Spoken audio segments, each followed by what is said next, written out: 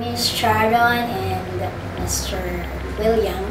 I thank them very much for thinking of this very uh, blessed, blessed goal that they have to be able to help other people like myself and those who would like to set up a travel agency because they knew how difficult it was and it was really a parang golden golden purpose in life so on that kahit na you just do the trainings, they are really a gold star. So thank you very much and I hope you continue to do that and I hope you can also help us achieve what you have and put the vision and mission that you have into our minds of helping also other travel agencies like myself. If I grow, I can help my other affiliates to grow as well.